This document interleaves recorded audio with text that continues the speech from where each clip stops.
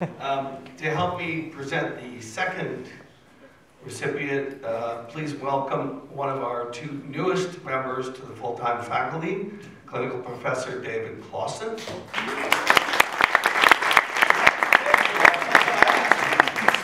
Okay, you first, sir. Um, I'm going to keep my comments short and sweet, two words that also describe our next recipient. Um, Besides being a wonderful student and uh, writer, or she wouldn't be here, I think I can safely say she will feel more guilt about receiving this award than anyone else did. Correct. Correct. I'm just gonna add a little thing, just because I promised her I would embarrass her, and so I don't wanna break, I don't like to, like to keep my word. So, I'm just gonna add this little thing. Calm down out there, I know you're out there.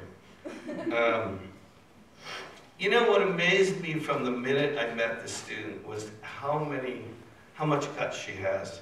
That she writes deeply personal stories that she hasn't entirely figured out yet. And because she has had, had the luck to be in amazing rooms with amazing colleagues, she's figuring that out. Um, this person, I knew I'd be a little longer than you. Um, this person is, her middle name is Service. I can't go through all of the things that she's done for the screenwriting department, the School of Film and TV, the university, and the community, so I won't. But I will say that with the twin gifts of compassion and empathy, she's going to do great, whatever she does. And the first thing she's going to do is have to decide whether she's going to Ecuador to do service or go to New York and teach. I voted New York because she'll be closer to us, and I, I'm afraid of insects, so I vote New York. Um, would you like to introduce her? I think it would be nice. Samantha Ring.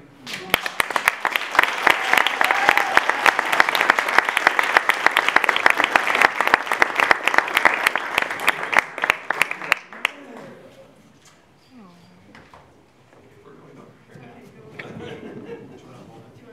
I'll give a school. Hello. Um, Jess, that's a tough act to follow. That was a beautiful speech. Um, yeah, okay, so people to say thank you to. I mean, first of all, my classmates, my peers, my friends.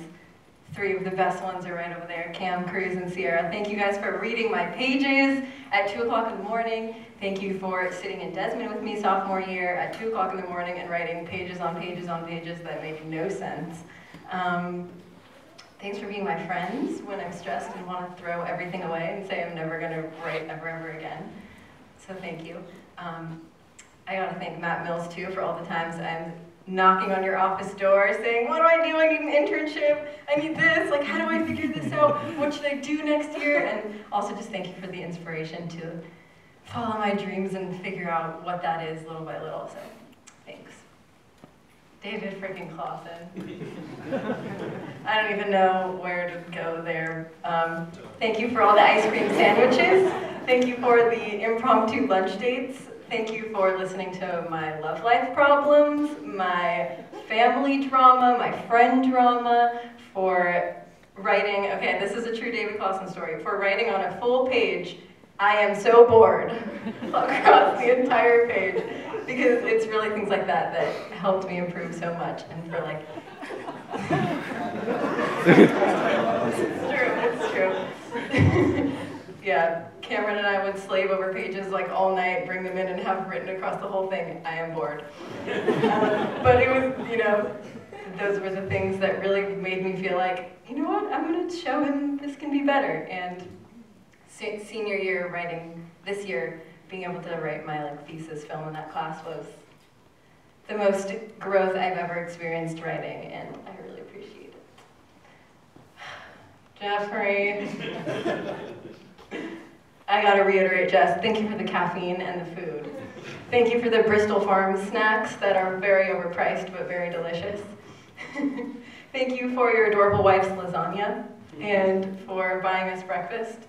Um, but mostly, thank you for introducing me to this program and for mostly giving me the confidence that I need to think that I can actually do this and for telling me that I'm amazing, even when I'm probably less than, and for really pushing me to believe in myself, because I think that more than anything is what you need um, in a in a world like this, not even just a business like this. So I will forever think of you as launching that for me and making me feel like I could do it. So I love you.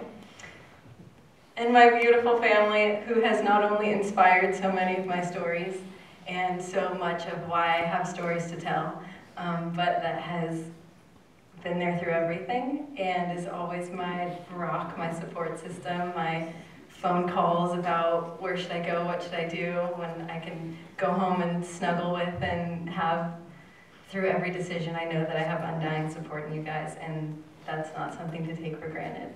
Um, my brother's here, it's really exciting, you guys. He's the best person ever. Those of you who know me, everyone knows, everyone in this room knows you, Gabe, so. So thank all of you, really. I'm so excited for the rest of forever, knowing that I have this support system behind me. I love all of you.